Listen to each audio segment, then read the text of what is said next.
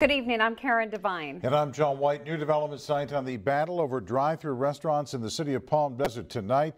The city council rejecting a proposal that would have allowed them in more areas.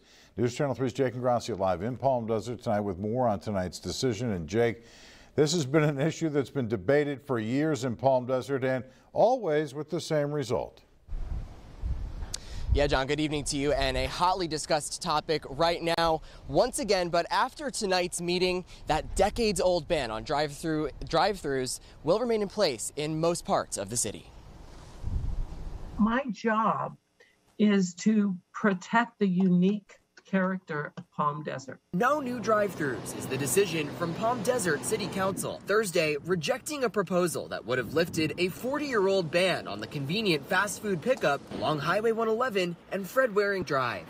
The proposal addressing environmental concerns, oversaturation of drive-throughs, and design standards required to be met. But for now, drive-throughs will remain banned everywhere in the city except for commercial areas near Interstate 10. Local restaurants calling into city council worried about the threat of competition. I believe that the presence of corporate fast food drive-throughs would be a threat to them they could be put out of business. Concerns that the existing non drive through fast food franchises would become non competitive as well. We would end up with several empty structures, difficult to fill. But two city leaders were in favor.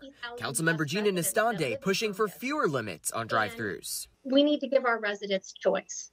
For those that want to do a drive through, they can have that option, but not to go drive five or six miles to the, the 10 freeway. This developer hopes to breathe new life into the Palms to Pines shopping center on Highway 111, including putting in a new Raising Cane's drive through. Everybody's trying to get as much traffic in as they can, and this is a huge traffic generator. Despite a landscaping design that City Council enjoyed, it's back to the drawing board for him. It does not eliminate greenhouse gases and it doesn't protect our air quality. Council voting three to two to uphold the drive-through ban, saying if someone is desperate for one, there are no shortage of drive-throughs in Palm Desert or in the Coachella Valley.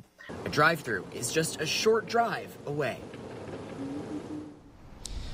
And City Council tonight directed city staff to go back and look at the ordinances that allow drive throughs here near Interstate 10, potentially looking for opportunities to add even more of them in this area. We're live tonight. Jake Ingrassia, News Channel 3, Palm Desert.